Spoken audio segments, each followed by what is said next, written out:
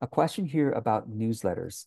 Uh, how many of you feel uh, sometimes tired for having to keep up your newsletter rhythm? Um, well, I'm not raising my hand, and I will tell you why. My newsletter, my email newsletter, takes me 10 to 15 minutes per week to send out. So uh, usually 10, sometimes not even 10, only 10 minutes per week to put the newsletter together and send it out. Why? Well, I will go ahead and show you why. It's because my newsletter, I'm going to go ahead and show you on the screen right now. You can see this page on my website. If you go to my website and uh, and go to um, newsletter archive, uh, you will you will you will see this exact page. But uh, if you click on these these newsletters, right, what I do is I basically copy and paste the beginning of a recent article, and then I give a link to where to read it or where to watch a video about it. Okay. Um, and then same thing. And then I, I have a recent Instagram post. I basically give uh, the title of it. I give a link to it. I have a recent YouTube video. I give a, a title to it. I have a link to it. And then I, I sell something at the bottom. I sell something. And then I always say, I always welcome your feedback. This is why it takes me 10 minutes. It shouldn't even take me 10 minutes, right? It takes me 10 minutes just to gather the links and put it in here. The mistake that I see too many people making, you should not be writing exclusive content for your email newsletter. Please stop doing that. Stop writing content for your email newsletter. Stop it. Why? Because it's it's why are you hiding that content only for your newsletter subscribers? Well, George, it's because newsletter is the most reliable way to reach my audience. You're going to tell me that, right? And I'm going to tell you wrong. It's not true. Because email has algorithms, just like social media has algorithms. Did you know that?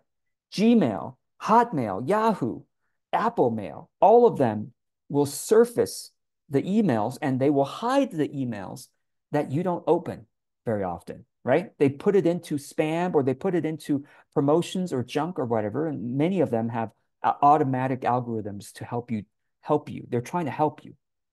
So, but even if your emails come all into one inbox, how many of you raise your hand, receive a bunch of newsletters you never open? How many of you? Be honest. All of us do. So how reliable is it? To reach your readers through email newsletter. Let's be honest about it. Versus when you post on social media and that article or that video is really engaging, is really helpful or inspiring or interesting to your viewers or your audience, guess what happens? It reaches way more people than your email newsletter. Think about this. People don't, people are so myopic, so overly focused on email newsletter because they heard from some marketer the email newsletter is the most important asset in your business. And I say that's BS. That has not been true for 10 years.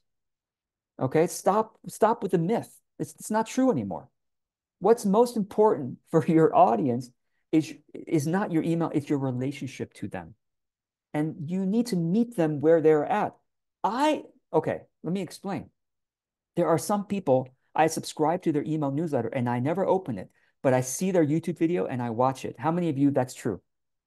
You see their YouTube video, you watch it, email newsletter, you're like, oh, I have so many emails. I'm looking at emails from my, you know, my mom and my, you know, my clients and my what, right? Or you follow them on Instagram and you know, you see them, you like seeing them on Instagram, but when they send email newsletter, like, ah, oh, just another e so many of us, that's true. You we meet our audience where they're at. So please, everybody, Stop writing for your email newsletter. Whatever you're writing there should be on social media.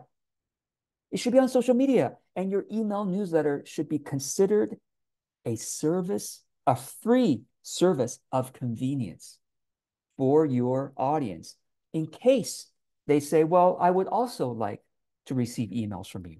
I would also like to receive emails from you. Not, oh, I'm going to receive emails from you. I'm going to unsubscribe everywhere else. That's not true. They're going to go on YouTube. They're going to go on Instagram. They're going to go on Facebook or wherever they go. And you're, you're going, they're going to see you there. So Therefore, be much, much lighter about your email newsletter. Now, you might say, George, your lame email newsletter, what's your open rate? I will tell you. Well, let me ask you, what, what is your open rate? I have 5,000 subscribers. What about you? I'm not trying to compete with you. I'm just telling you, the smaller your audience, the higher your open rate. Some people tell me, well, George, I have, you know, 300 people on my email list and my open rate is 60%. Like, that's wonderful. But wait until you have 5,000 subscribers. You know how many you're going to have? What's your open rate going to be? 20 to 25%. That's average. Okay, let me say this again. When you get into thousands of subscribers, your average email open rate will be about 20, maybe if you're lucky, 30%. Okay, what about my lame email newsletter? My open rate is 50 to 60%.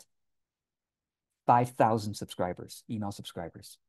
So my open rate is double the industry average, my industry average. It's double, two times as, as, as George, how can that be? Your email newsletter is so lame. Exactly. People like my lame email newsletter format. Please copy it so you can save lots of time and stop being tired writing your email newsletter. You should not be tired. You should be like, oh my gosh, I get to send my email newsletter. It's going to take me 10 minutes from start to finish. Whatever I'm writing, that should be called content creation time, not email newsletter time. You should be putting that stuff everywhere online, everywhere. Facebook, you know, Instagram, medium.com, LinkedIn, I mean, wherever, your blog, obviously. Don't write for your email newsletter. That's, if you want a successful email newsletter like I have, follow my lane method, follow my light method, really. You see? And then the, the last thing I'll say is if you're worried, oh, but George, I get a couple of unsubscribes. Every time I send email newsletter, I get a couple unsubscribes. That's normal. You have to understand, you have to normalize it. The average, let me explain, the industry average unsubscription rate is about half a percent, 0.3 um, 0.3 to 0.5% unsubscription rate for every single email. No matter how charming you are, no matter how great your email newsletter is, you will still get 0.3 to 0.5% unsubscription rate. Why? I don't know why. It's just statistics. Everybody experiences this. I don't care how good, award winning your email newsletter is, you're still going to get 0.3 to 0.5%. If you're lucky, maybe you'll get 0.2%.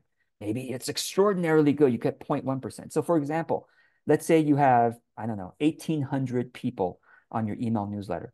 So 0.3, 0.5% will be, sorry, 0.5% will be nine, nine unsubscribes per newsletter send. Do you have nine people unsubscribe every time you send? Oh, you have fewer? You should be proud of yourself. You're, you're getting less than average, meaning people like your newsletter more than they like other newsletters. Okay. So I hope this is helpful. Go lightly. Do not be tired. There's no need to be tired. Okay. You, you just create, you're already creating YouTube videos. You're already making content elsewhere. Just put them in your newsletter. That's all. Right. That's all. And don't worry if people unsubscribe. They unsubscribe for many, many reasons. Don't listen to them. Now, if your newsletter unsubscription rate gets to 1% or higher, then you should pay attention. Then you should find out why. But under 1%, especially around 0.5% or less, you really, really should should not be worried at all. So I hope this is helpful. Oh, and I say one more thing about the news. The reason why I link, I link it to, again, like I said, I have very high open rates, meaning people look at my newsletter, they like it. They like the fact that they open it and it's so short. They get to see, they get to make a choice what they want to go look at. And then when they click on it and they go to the social media to interact, Wonderful. That means their interaction on social media helps to spread the content farther. It's such a good idea. I don't know why everyone doesn't do it.